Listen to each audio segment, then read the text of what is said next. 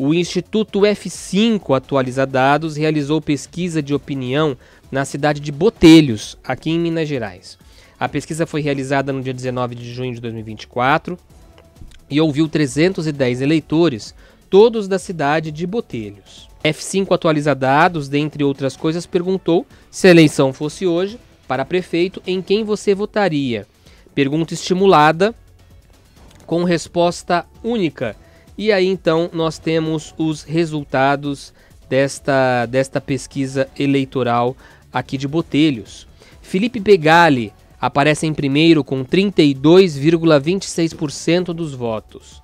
Márcio Nil tem 10% dos votos redondos. Em terceiro lugar, o Jefferson Broa com 7,74% dos votos. Paulinho com 6,77% dos votos. A Talita com 5,81% dos votos e o Tibano com 3,23% dos votos. Ninguém, branco ou nulo, somaram 13,23% dos votos. Os indecisos somam 20,97% dos votos. Essa é a pesquisa de Botelhos. Em relação à rejeição, a F5 atualiza dados, também perguntou em qual destes possíveis candidatos você não votaria de jeito nenhum. Pergunta estimulada de resposta única para testar a rejeição dos candidatos.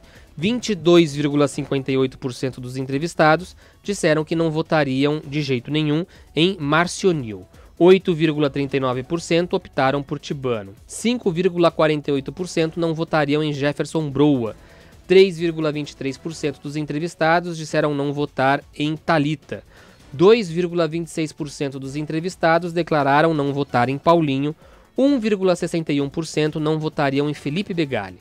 25,16% não souberam ou preferiram não opinar, 15,81% não votariam em nenhum dos candidatos e 15,48% poderiam votar em todos os candidatos.